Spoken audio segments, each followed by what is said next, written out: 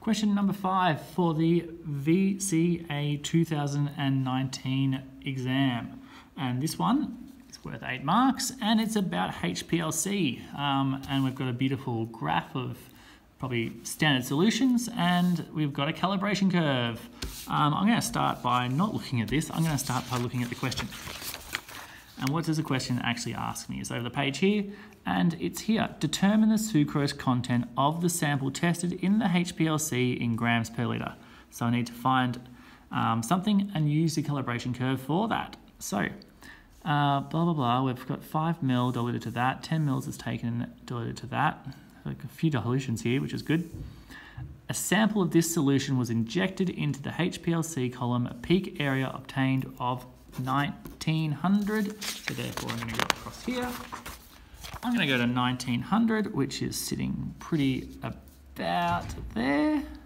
Go across to it here, and it comes down to being that. So that is what was tested into the HPLC machine, which is 0.30 grams per litre.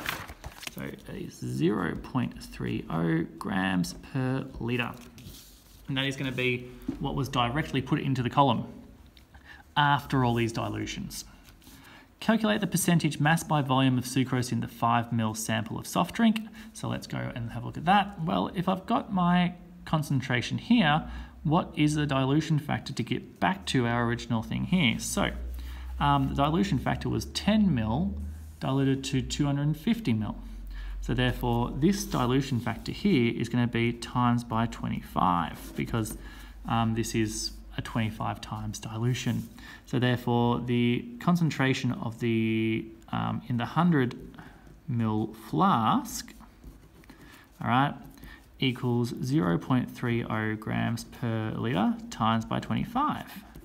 So I'm going to do that and go on and clear that and go 0.3 times 25 gives me 7.5 grams per litre.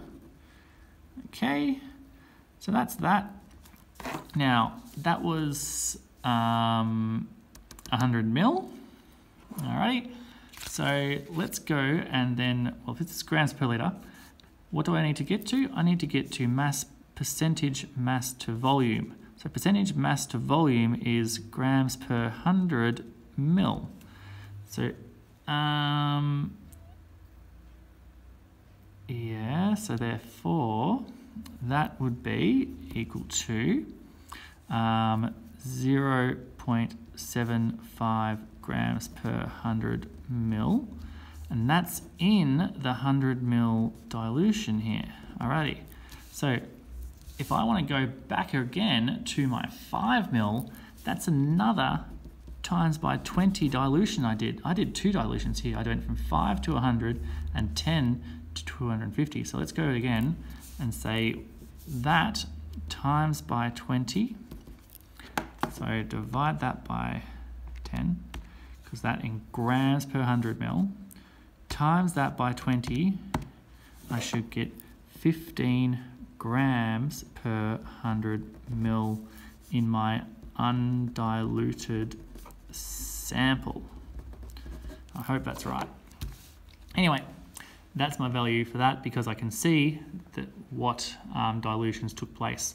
And there was a times by 25 dilution and a times by 20 dilution, and I also need to get it down to grams per 100 mil. I played around with those values until I got a reasonable answer. All right, the can used to obtain the sample contained 3,300, sorry, 330 mils of soft drink. Assuming the only sugar was sucrose, what's that? So therefore, if there's 15 grams per 100 mil, how do I get that to grams per 330 mil? Well, I'm simply going to times that by 3.3. So that times 3.3 should give me 49.5 grams per 330 mil. There it is. Oh, good. Now, yeah, alrighty, moving on.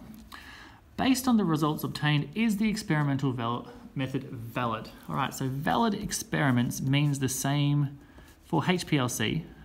If it has to be valid, the same conditions must be used. So let's have a look to see if our same conditions were used. So um, here Um, let's have a read through here. Standard solutions were made up using this. Each standard solution was injected. There's no reference to conditions used yet. Um, going over here, the sample of solution was injected into the column of the peak area at the same retention time under the same conditions. So we have the same retention time as what we want, again, and the same conditions were used. So yes, these are valid. Yes, it is valid as the same retention time and conditions were used. The other thing that we need to make sure is that is this value within my calibration curve? And it is as well. So that's another reason we've got a valid thing um, my actual um, my calibration curve can only be used from the lowest dot to the highest dot. And therefore this value of 1900 is smack bang in between these two. So again it's valid because of that. That's great. Um, I'll move on to the next question which is part C. It says sucrose and aspartame are types of sweeteners which we know sucrose and aspartame are part of our course. Use your understanding of chemistry to explain why some people replace sugar with aspartame. Aspartame, you should know, is an artificial sweetener. Um, so therefore, it's in your data booklet in terms of the structure, and we can talk about it. We need to talk about the metabolic, metabolic reactions that occur when both of these undergo um, digestion. Glycemic indexes, which is the GI, and the energy content. So let's go and talk about some of the metabolic reactions here. So um, we'll go with the first one.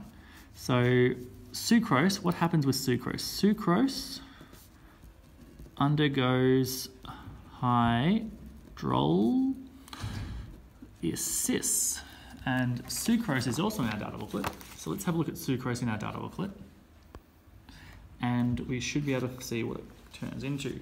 So here's sucrose here, and you should know that it turns into glucose and fructose. So undergoes hydrolysis to form um, glucose and fructose. Okay, and then um, we have to compare them. So what does a aspartame do? Aspartame, this is a aspartame here, which is on the next page of our data booklet, I believe. I've already um, annotated a bit. Aspartame's here. It has a um, peptide linkage, so not a peptide, it's got an amide linkage, and it's got an ester group here. So it also undergoes hydrolysis. It also undergoes hydrolysis, but does not produce glucose. In fact, it produces um, these three things, um, which I'm not going to go into, but I'm pretty sure that they're amino acids and methanol. So therefore, I'm just going to talk about that. It only talks about the reactions, so I'm just going to say undergoes hydrolysis. Not produce glucose. Um, I'm going to move on to the next thing. But you can find out what it actually produces. No, I'm not going to do that. Glycemic indexes. Well, um, looking at this, you can see that aspartame, because it undergoes hydrolysis, but it doesn't actually produce glucose, it doesn't have a GI index. So aspartame does not produce, I'm rewriting my thing, produce glucose, um, therefore will not have a GI value, thus will be much lower than sucrose, sucrose, which, which will produce glucose.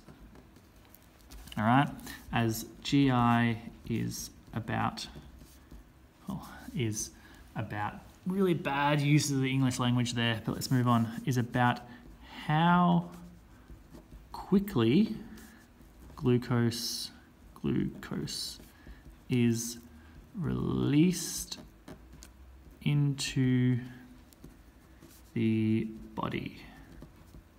All right, so that's what's happening there. Lastly, I need to talk about the energy content.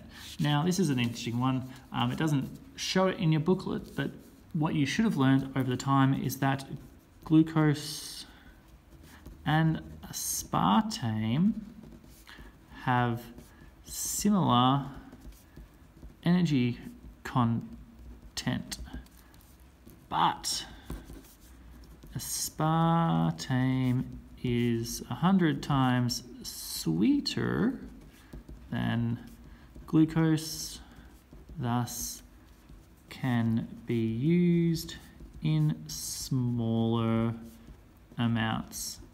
This question pretty much just is a go for it and tell me what you know about comparing um, normal sugar stuff with aspartame. Um, and that's pretty much what I've done here. I've basically just said, these are the things I've been taught about these two compounds, and I'm gonna write down what they are here. So hopefully that makes sense to you um, with that. That's it. And that's question five done. Was it five? Yeah, that was five.